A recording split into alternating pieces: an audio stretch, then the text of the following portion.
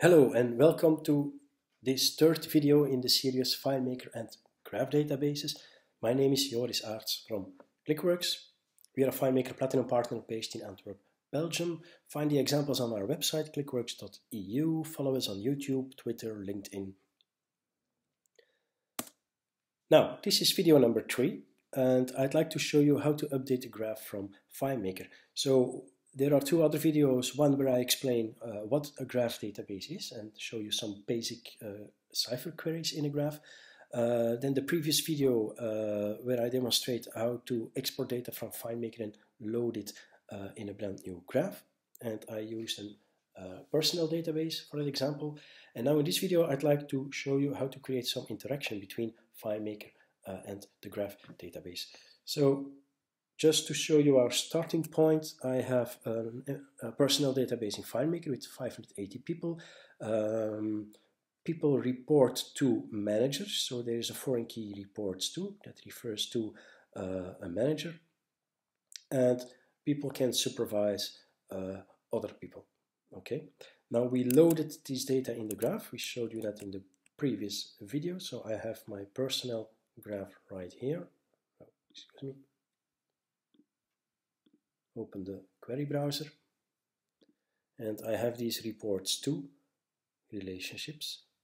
By default, it's limited. So if I want to show you the entire database in the graph, there we have it. So this is the general manager and everybody should in one way or another report to that guy. But as we already saw, there were a few uh, errors in our database, so there are a few separate clusters. Let's take this one as an example. This is the German branch of my organization, and there is a guy named Hans Zimmer, and everybody is reporting directly to him, but he himself is not reporting uh, to anyone. He should report to me, the general manager. So wouldn't it be nice if I could now just go back to my FileMaker database and find this guy, Hans Zimmer, there he is, and indeed a lot of people reporting to this guy, but he himself is not reporting to anyone. So wouldn't it be nice if I could now just point him to the president, for instance, and say, okay, reports to Joris Aarts.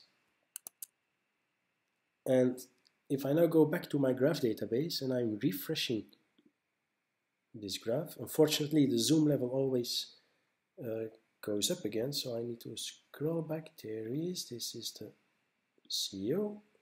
And as you can see now, a reports to relationship has been established just simply by uh, selecting that in the drop-down list in FileMaker.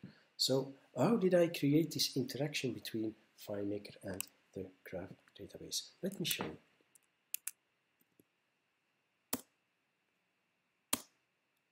So I already uh, showed you how it works. Now what's happening is Behind this reports to field, I have created a script trigger that runs a script update relationship. And what this script does is basically retrieving both primary key and foreign key, the reports to key. So both keys I need to refer to the person and who he is reporting to. In this case, Hans Zimmer reporting to me, Joris Aarts. So I'm creating both variables. And then in the next step, I'm building a Cypher statement.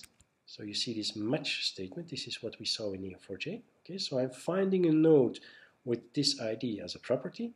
So I'm finding Hans Zimmer in this example. Okay, and if I find a reports to relationship from that person, referred to by the variable r, delete that relationship. So before creating a new relationship, I first make sure that the existing relationship is cleared. So in the first statement, I delete the relationship to create the new one afterward.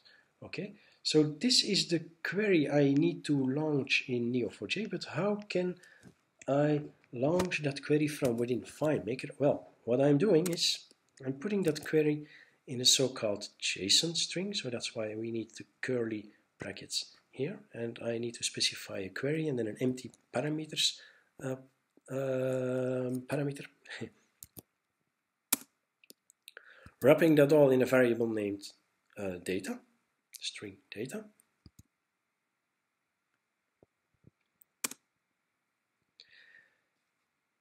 I'm building a header. So this is the header I need. What I'm doing is preparing an API call to the database.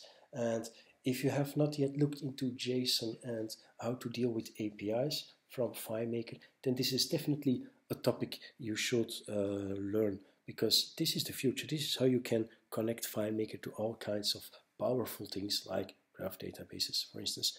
So this video will not be a tutorial on how to use JSON or how to use APIs. I'm just showing you that um, what we already know, this query statement does need to be wrapped in a JSON string and we're now sending that one to uh, Neo4j API by preparing a header and by using the insert from URL command. And this is the address that my database is on. It's, it sits on my local host. This is the uh, port number I need to use. And this is the endpoint, the API endpoint to call. So here you see the header uh, completely. It's not difficult because this is all fixed text. So you just need to look it up in the documentation, just copy paste this one in your example. This is the username and password for my Neo4j database. Okay.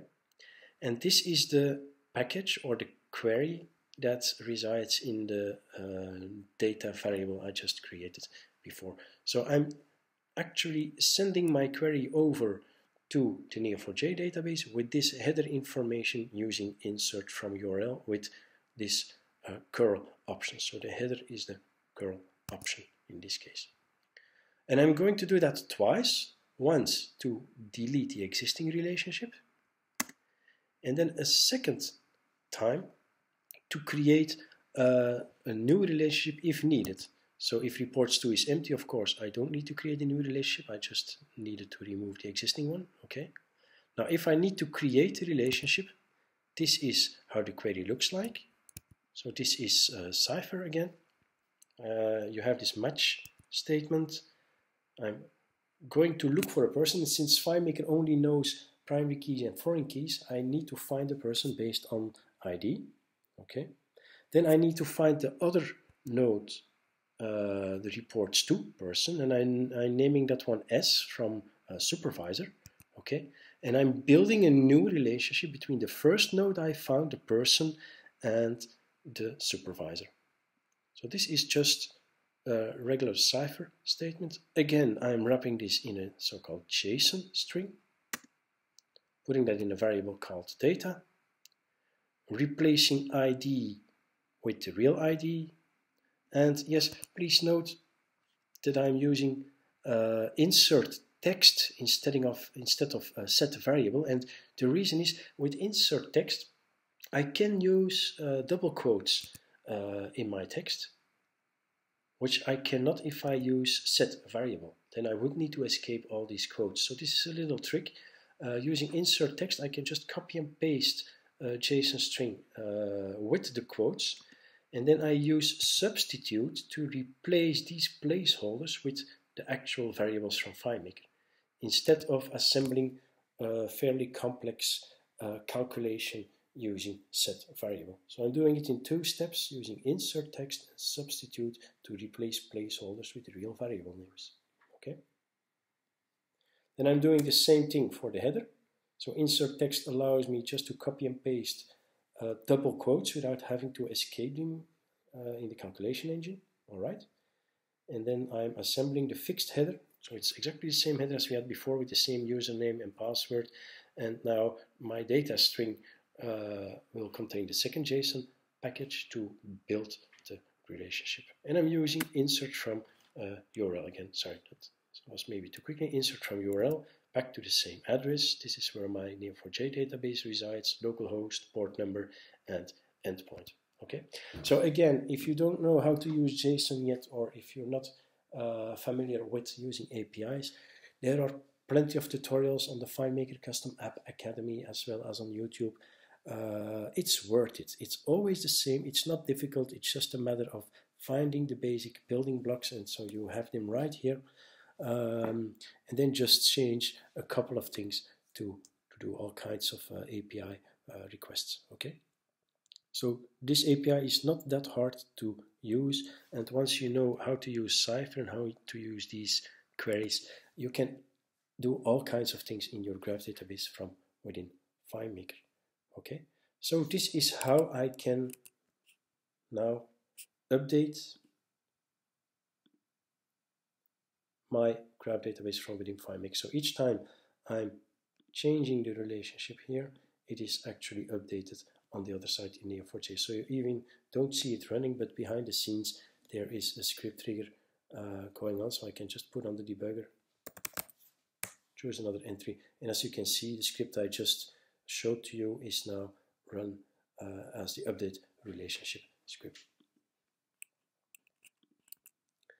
And so with this, I would like to end this video. The next step in the last video will be to replace FileMaker tables entirely with a graph database. Is that possible and what is the advantage? What results can we get? What benefits can we get from that?